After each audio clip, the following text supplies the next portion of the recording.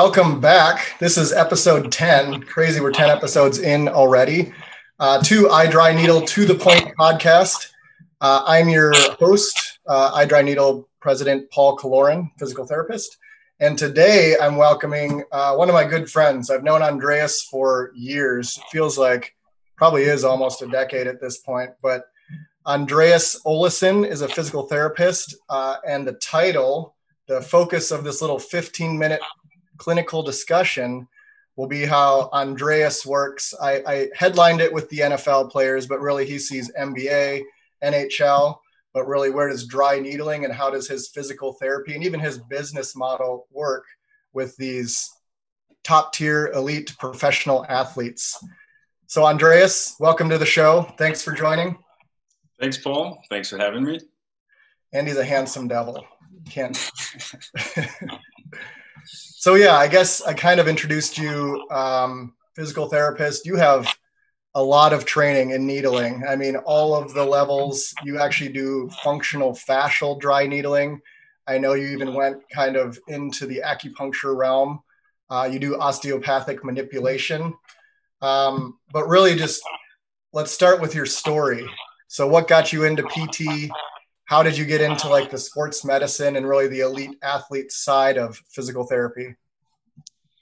Yeah, so so I'm originally from Denmark, and uh, I took my PT degree about 18 years ago in in Denmark. So uh, that's uh, I almost got into sports medicine from day one because of my sport. Uh, so I I want to say I still play, but obviously it's a little bit more recreational now. But I used to be very competitive with uh, beach volleyball, and uh, was lucky enough to play pro for many years. So um, even it was on a national team level. We were a small country, obviously, so uh, there wasn't a lot of help from like there was a lot of medical staff. There wasn't a lot of support in that in that sense. So we had to figure a lot of it out ourselves so uh, physical therapy kind of became a natural thing to kind of phase into because obviously it's not a big sport you don't make a lot of money of it. So uh, I, I started with physical therapy while i was still playing and that was a huge benefit because i would kind of take care of myself when there was nobody else to help me. So yeah so that has been that's a degree about 18 years ago in denmark. Then i moved to the us about 13 years ago and uh, the US being as lovely as they are, they made me take the whole degree one more time. so uh, so I took it when I came over here and was fortunate enough to to keep working in sports medicine. And uh, mainly because I was lucky enough to team up with some guys that were doing a lot of performance training, and I could kind of bring a little bit of the PT side to it. Yeah, that is awesome. I knew you were uh, from Denmark, prof- uh, professional beach volleyball player. Uh, and really, I mean, I mentioned a few of your skills. You're a very skilled clinician. Um, and I know personally that needling is a big part of that because I, I was even trying to remember this morning. I'm pretty sure we met, like you and I were taking a needling course together, probably back 2011, 2012. So I know you've been needling for a long time. Yeah. Um, in the kind of journey or the course of your career, when did you start needling? How did it change things for you as far as how you practiced? So I, it kind of came as a almost like a blessing with the with the dry needling because I I worked uh, with these pro athletes, and I was very frustrated that I didn't feel I had a lot of tools that could create these rapid changes that the sport pro sports today require and then I kind of stumbled across the the dry needling and had treatment myself before a tournament, and I just couldn't believe the results and uh, how quickly I felt the results and how beneficial it was. And then I kind of started diving into it, and the more I dove into it, um, the good thing is I had along the whole way because um, Edo from Kinetacore, he, he laughs a lot of like, I think I've taken some of the levels like multiple times. And he says it's because I fail every time, but, uh, but, um, but it's simply because I feel like when I, and uh, when you and I met, there was a lot of, uh, there was a lot of progress. There was a lot of uh, things that was happening in that field. So I felt like some of the courses have changed over the years. And so I feel it's been very like the journey has been very like organic, as it's popular popular to say at the moment. It's oh, been um, I've been able to kind of implement little by little with these pro athletes, and thankfully they've all been very susceptible to it. And um, I think the biggest thing for me was that I early on, I think maybe after level one, I was lucky enough to work with a uh, one of the a pass rusher up in with the Baltimore Ravens, and the whole thing kind of like opened my eyes to what the potential was with this dry needling, and especially using it in pro sports. Because we, we had this conversation, we had hours and hours of conversation where we were trying to dissect the problem about staying healthy, especially in the NFL, because it's such a brutal sport. And um, the biggest problem, and still to this day, is that people come in, these players come into camp or to preseason being in phenomenal shape and with very little injuries and very little nagging things because they've had this off season to kind of build up and get ready. And then one would think as they get more game reps and more practices with the team, they would get better and better. So when off season, uh, sorry, when pre uh, playoffs come, that they'll be at the peak of their game so they can compete at this high level, highest level. But unfortunately, the kind of the curve goes the other way. They get more and more banged up uh, each Sunday, and um, so we we really try to dissect what could we do to to reverse this curve. And uh, the dry needling kind of fell into my lap when we were having this discussion, and then we started simply by me going to to Baltimore every Monday or Tuesday, depending if they had a Sunday or Monday game, and simply looking at it as okay, every Monday we have to presume that this player has been completely banged up, and we have to reset everything. Obviously, there is very straightforward things like little ankle sprains, uh, contusions, and stuff like that. But let's just presume that the body gets completely banged up in these games and we have to reset it. And then all of a sudden, what was really, really cool for me was that this was not just like it was a theory, but all of a sudden we could see the results on the field, like constantly, week for week. So instead of this guy who was a veteran at that time and usually it's very common that veterans in the NFL sit down and skip practices. Uh, instead of start skipping practices, he didn't miss a single practice. And all of a sudden, he started getting, as being a pass rusher, he's like his sacks count just went up and up. And he, he exactly what you would think. He got faster, reactive wise, explosive wise. There was no bumps in the road. And it was actually to a point where I, I find it a little funny, was to the point where the NFL started testing him all the time for different kind of banned substances because as a veteran they couldn't believe that he was always on the training field. So that was really really cool. And i think it was i think it was around week 11 or 12 where he broke the baltimore ravens single season sack record with about six, 16 sacks. And i actually i remember sitting at a level two course with edo in vegas when he actually broke the record so Edo and I, we were like celebrating in one of the breaks because obviously it was great for all of us that we could see these things are possible with the tools we learn.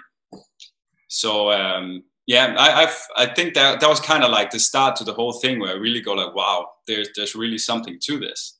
That's awesome. First of all, I like the reverse the curve thing, very apropos right now. So, but it makes total sense as far as exactly what you said. Like as you want your performance to increase at the end of the season, most of the variables are are probably driving it downward as far as fatigue, injury, and just the cumulative effect of an NFL season.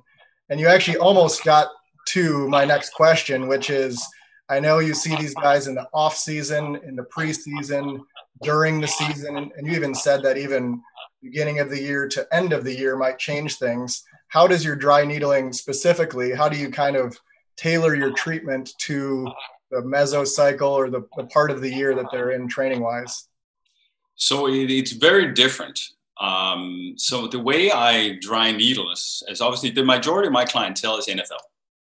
And so within the NFL, it, it varies a lot depending on the position of this guy, the age of this guy. Like the younger players, they don't need a lot of maintenance but with the older players, not only do you have to make sure they stay on the on the field, you also have to work on some of the compensation patterns that they carry in the back. But but basically, the the biggest takeaway, I think, uh, if if I can for people out there that want to work with the with the um, with the top athletes, and that you really got to be careful. You really got to know when do they have to peak and looking at the compensation patterns, and, I believe you and I and Edo actually have had these conversations a million times that these guys have so many misalignments and so many compensation patterns. But there's always a time and a place where you treat these, try to take them away, and the in season is not it.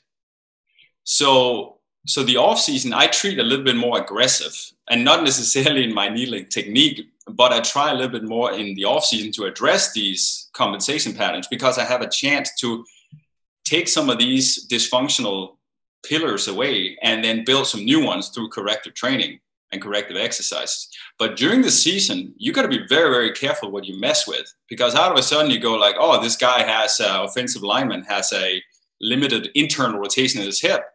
Let's fix it. And then out of a sudden he gets tackled on the outside, and that's instead of that what I call protective tightness is holding him, is protecting that knee. Then out of a sudden to go like, if you gave him more, boom, it's an ACL injury. So it's very, very tricky that you know what kind of things you want to take away at certain aspect of the year. So I treat very, very different. Yeah, that makes, that makes sense. And I, I, that's a great example. I like the protective tightness. I like that term too. Um, there's this time in a season to work on that dysfunction, and then, like you said, there's a time in the season where it's maintenance or just keeping them uh, more of a recovery focus, I guess. Another more specific question to your dry needling. I mean, we're getting kind of close to the playoffs right now. Um, how soon before a game and how immediately after a game do most NFL guys prefer to be treated with needling? So again, it varies a little bit depending on who who you're dealing with. But um, in a lot, a lot of times, it's like it's, it's it can be difficult to do exactly what you as a PT would like to do because there is uh, travel included. There's their schedule. There's there's a lot of factors.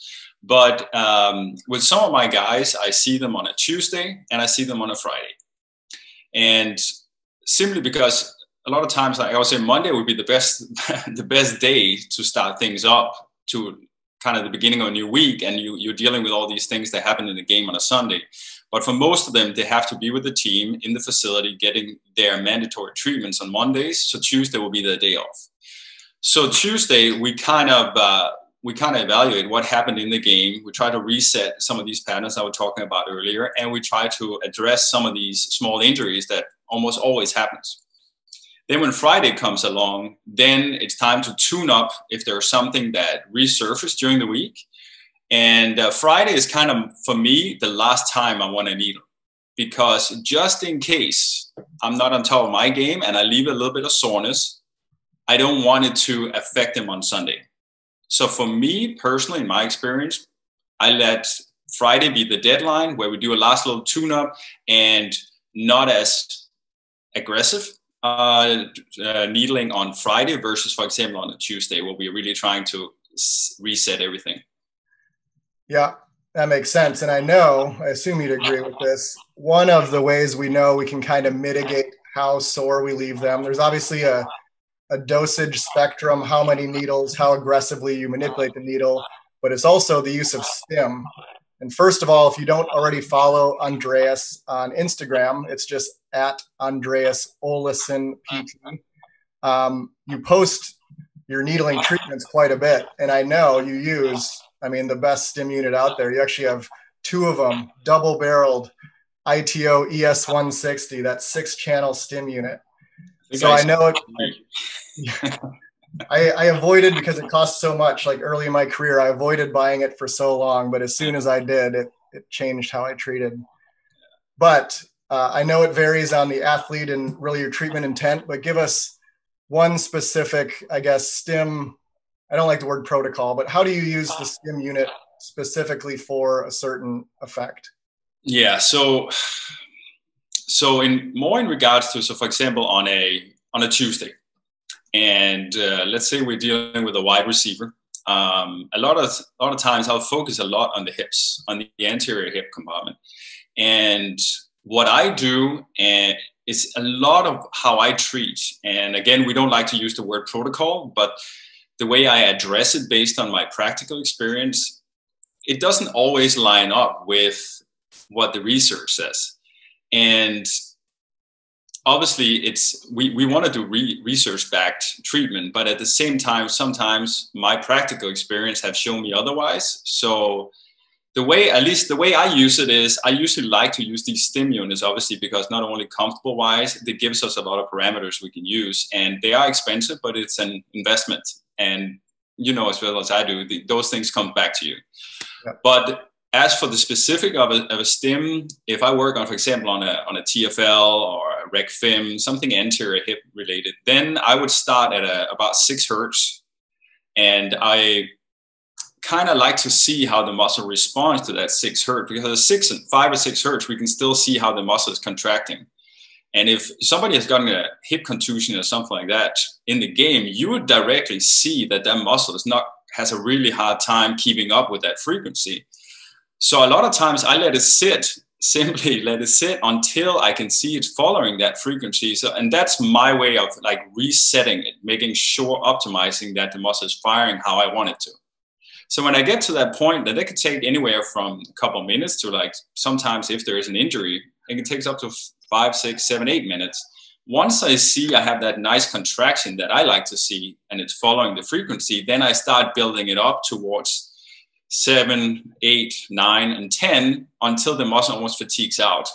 Especially because I want that anterior hip combine to be nice and loose for this wide receiver so they have that knee drive so there's no external rotation once they get to that knee flexion because that translates to how they plant their foot in the sprint. But a defensive tackle, it's a little different because the way they place their feet, they're a little bit more active with their arms. So it, it, it varies. But for a wide receiver, I, I usually start with, with six, make sure it's firing, and then I build it up to the muscle almost fatigues out.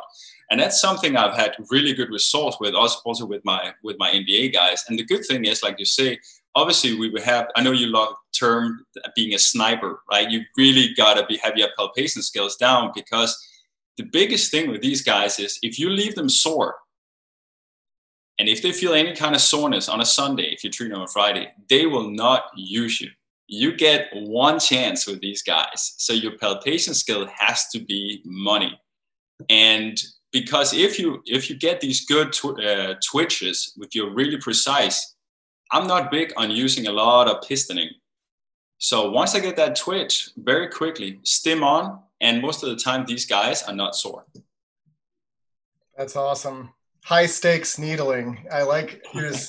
I could listen to you talk all day. It's so hard. We're already past time.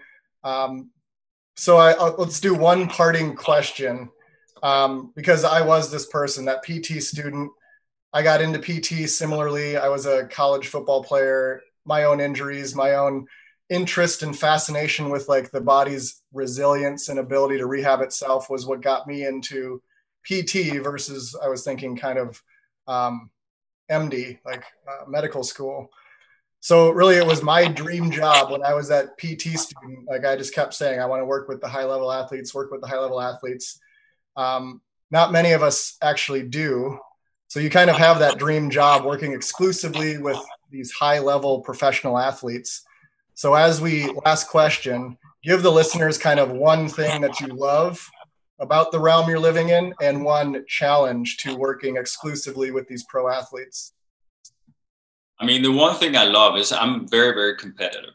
And even though I stopped competing in my own sport, um, I love competing in this sports medicine. So the, the fact I love that when the stakes are high, I love that I'm the one that gets the call when some of the team staff can't figure it out. And I love that I have to come up with these things that nobody really knows how to, to fix. And then I think what I love the most is like it translates straight over on the field. So I love them. In my work, I can see the result in the stat line. I mean, I'm not sitting the whole Sunday watching football, watching all my guys play because I like to spend time with my family too. But at the end of the day, football being a statistic sport, I can at least go in and see that the number looks great. So obviously, I, I can control what I can control. If they drop the ball, it's a little bit I can't I can't control that. But I love that my work directly translates to what you see on uh, ESPN on Sunday.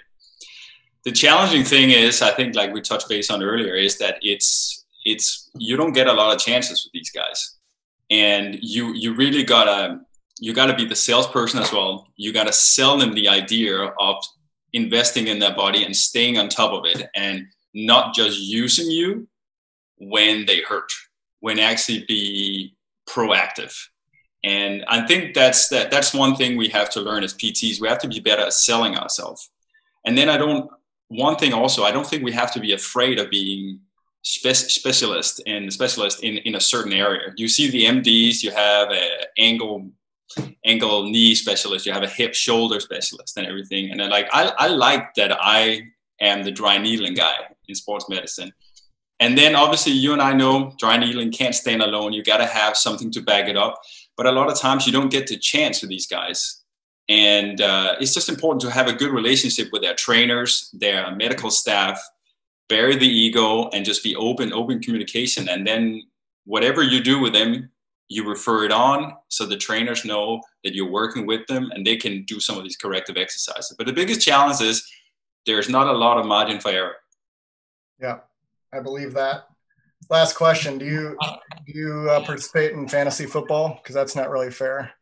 No, I no, no, no, I don't because I'm still European and uh, my knowledge about football is is still very embarrassing. so I I tried one year to join some of my friends' uh, fantasy football league, and after too many questions during the draft night, they did simply said like, "No, I don't think this is for you," and I, so no, I don't. But uh, That is, thank you, Andreas. We are past time, so thanks for hanging with us for a, a little extra. Uh, again, if you don't follow him already, we'll we'll post it in our Instagram, but you should follow him on Instagram at Andreas Olesen, not Olsen. There's an extra E in there. He's from Denmark. Um, but you can catch the recording anywhere. Uh, we'll have a link in our Instagram profile. You can find our YouTube channel. We're on Spotify and iTunes. Um, but Andreas, Great seeing you. Thanks so much for your time. Likewise, buddy. Appreciate it. The NFL PT, the PT to the stars. Uh, so give him a follow. Next week we have we have one more to the point this year. We have Judy Galber uh, at Movement Physio or at Forward Movement uh, Physio, and we'll talk everything coaching mindset. She does uh, she needles but she also treats crossfitters and she coaches pts and kind of the the well-being mentorship side of things. So catch us one more time next wednesday to, to the point then we'll kind of take a break uh, until next year. Andreas have a great week. Everyone else thanks for listening. You too buddy. Thanks a lot. Thank you.